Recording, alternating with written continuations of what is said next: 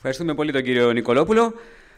Ε, η επόμενη ομιλία μας είναι Anatomy of a Cyber Attack, Forensics Made Simple with Artificial Intelligence, από την ε, κυρία Τζοάννα Βζίατεκ, Sales Engineer, Sophos. Please. Good afternoon. My name is Joanna Wziętek-Ładosz. I live in Poland, in Warsaw. That's why I cannot speak any Greek. I work for Sophos for 10 years. I, my expertise is endpoint protection together with security in the cloud, security of the cloud, and I'm an expert in terms of the machine learning. And machine learning is the topic that I would like to discuss today. But before I start, I would like to ask you whether you know how old already is artificial intelligence together with machine learning. I can bet that you don't know that artificial intelligence that we are discussing today is already 90 years old. 19 years. And I will prove it to you. But before we go to that, I would like you to imagine that we are back in the 30s, in the 30s of the previous century, before the Second World War has broke out the Polish people in Warsaw, they found out in the 30s that the Nazis, they are starting to encrypt the messages. They were encrypting the messages with the device that you can see on that slide. That's the Enigma device. And one of the mathematicians in Poland, in the 30s, in the 1930, he, for the very first time, broke the encryption code generated by Enigma. Why this is important? Because that information was known also to French, to British, to all the other nations. But the British and the French, who really wanted to find out what the Nazis are sending in those messages, they hired linguistic people because they believed that maybe there is a correlation in those signs, in those letters, so maybe someone who speaks many languages will be able to, will be able to find out the answer. They were hiring people who were good at crosswords, who were good at Czech, at playing chess, but none of them, until the 1939, hired any mathematician. And now we know that without mathematics, we cannot do anything about encryption, about computers, about all the work that we are working in.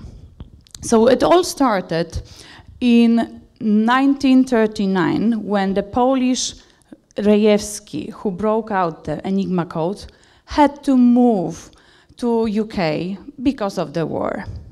Then he started working together with the British to find out the solution to that.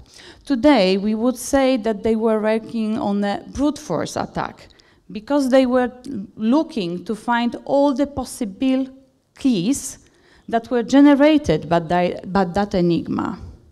Why I'm telling you all this information, why the history here is important?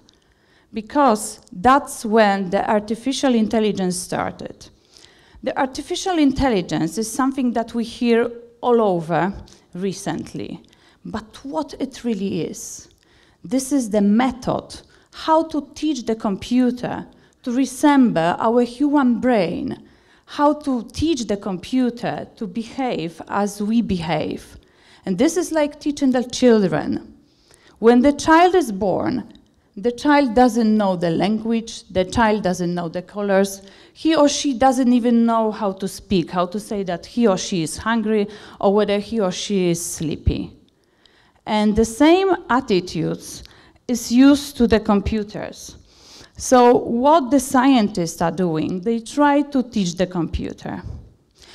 Before we go any further, the deep learning is the most common and the most used methodology of machine learning, of artificial intelligence. Have a look at those pictures. There are some bagels to eat and there are some sleeping dogs. Could you please distinguish which of these are for eating and which are the sleeping dogs? Here is the solution. So on the left side, you see the sleeping dogs, whereas on the right side, there are the bagels that you can eat for the breakfast. Was it difficult for you? Does it take a lot of time to solve that puzzle? Probably not, because you have seen so many dogs before, and you may have a roll every day for the breakfast. But if you give the same puzzle to the computer, would it be fast? Would it be achievable? Alan Turing, the one during the Second World War that was breaking the Enigma code of the Nazis, he said in his book in 1950 that he will, is sure that in the 21st century we will have artificial intelligence. And he was the author of the very first computer, of the very first computer that was able to think, that was able to solve puzzles like the one that I just gave you with the dogs and the, um, the bagels. Artificial intelligence these days is used almost everywhere. That's why I'm talking about it. So, do you know Tinder? The, that's the dating application. So, what is the user is being asked for choosing whether he likes someone or doesn't. And that's the way how he, how the end user is learning and teaching the algorithm. The same algorithm is being used by the company called Zalando, which does the online shopping. You are being offered the things that you have chosen, that you like, that you spend more time. This is the way how the algorithm learns and how it gives you the proper results. The same with Netflix. So this is the application for watching movies. The movies that you are being offered, they are not there because out of nothing. They are because you have chosen, you have picked up some titles that may like to you, and this is the way the algorithm learn. And finally, Google. Google is using the machine learning to the advertisements. That's why when you are looking for a car, if you are looking for a holiday, then on the very next day you see all the advertisements connected to it. That's the reason why many people, many vendors use the machine learning to prevent, to make our world safer, easier, the life easier for the IT managers. At Sophos, we do endpoint protection for 30 years. That's why we have a huge laboratories and we have a huge number of samples. We have taken 500 million samples and we treated them with the labels. So this is called the supervised mode of the deep learning methodology. So we labeled each of those 500 million samples and we teach the algorithm how to distinguish the bad things from the normal good things. What does it mean for you? What does it mean for you as an end user, as a director of the IT? It means that you can sleep safely, that nothing will happen because if there is a file which hasn't been seen before, which is new, which may appear, and even though my predecessors were mentioning that the prevention is the very first thing, we know that sometimes the prevention devices fail, and we got the file that haven't been seen before. And therefore, the deep learning engine that saw already 500 million samples can decide whether this file is bad or whether this file is good. And that decision is made between a seconds for you. You don't have to do anything in here. Do you recognize that slide? This is NotPetya. It was mentioned already by my predecessor. Everyone has a protection, but there are so many people who still deal with ransomware. NotPetya started in Ukraine and spread it around all over the world because no one, nearly no one, was able to stop it. And here I would like to underline one thing. None of Sophos customers who was having Intercept X never heard of NotPetya. Our customers have read in the internet about NotPetya, about WannaCry, because we use machine learning, because that machine learning prevented our customers from millions of losses in their companies. I wouldn't be in the shoes of that IT manager or any other person who came in the morning to the company and was not able to work because the computers were encrypted and the data was gone. NotPetya costed millions, millions of dollars. Here are some headlines, here are some data. How much does it cost it and how much it was. Let's have a look at Maersk. That's a huge company. And that NotPetya break costed them $275 million. Do you know how much money this is? How much would it be? This Boeing Dreamliner, the newest one that Boeing is doing, cost 230 millions. So Maersk could just go to Boeing and just buy this aircraft and they will still have some money left. We are talking about such a huge money that can be lost without a proper protection. So what does the Intercept X does? It prevents you, it helps you to make your life easier and safer thanks to the deep learning if there is a file, if there is um, a, a, any folder, any information on your computer that might be malicious, that malware will be recognized, will be targeted, and will be blocked. And this is how the dashboards looks like. So the machine learning, the artificial intelligence is responsible for this part. It will automatically identify all the files that can be malicious. These events can be examined, but this is not everything. On the right side of the slide, there is a threat search. You can have a look for the IP addresses, for the file names, for the hashes of those files. In terms of NotPetya that I just mentioned, the file that were, that were active on the computers, they were there since April.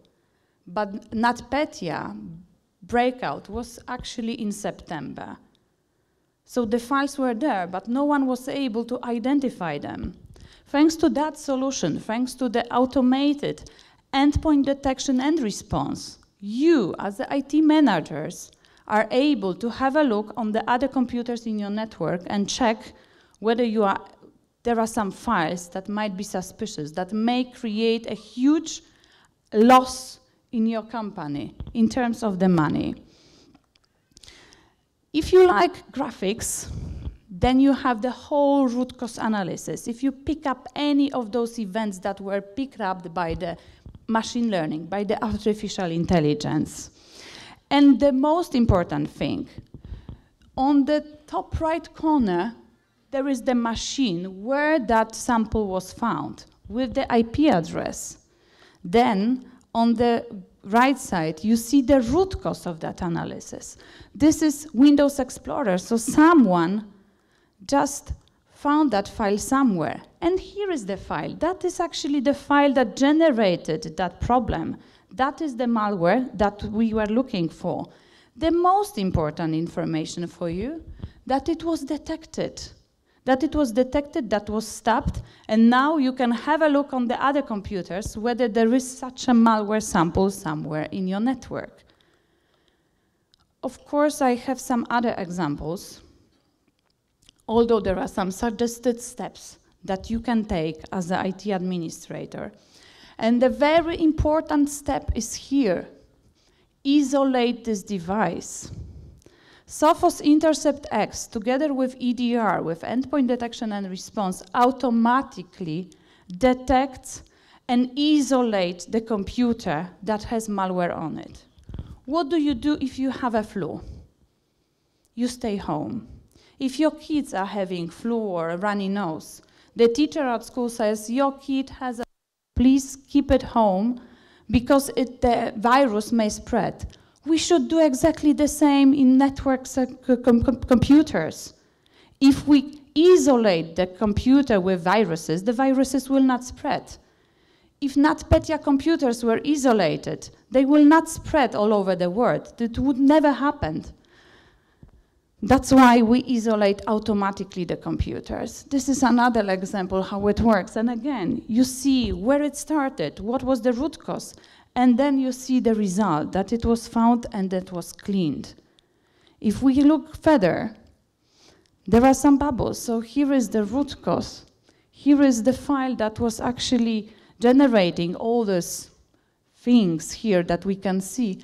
And those yellow things are the malicious files that the reputation is not clear. And if you would like to have a closer look at those files, we can do that thanks to the machine learning, thanks to the artificial intelligence that I'm talking about. And here are the results. There were, you can't probably see that properly, but there were like 25,000 samples that were malicious found on, in the world with that result. There is the code similarity to other files that has different names. And finally, the files and the path to those files that you can have a look. I want you to remember that in order to win against machines, you need to have the same machine. You need to have the same equipment, the same bullets. The thing that you can see behind me, this is a Rejewski bomb. So this is the computer that was generated before the Second World War that was able to broke the Enigma code. And now we need to have a similar weapon to break the NotPetya, WannaCry, and all the other new ransomware that comes. And to achieve it, we need to use the similar weapon. That's why the machine learning is so much important.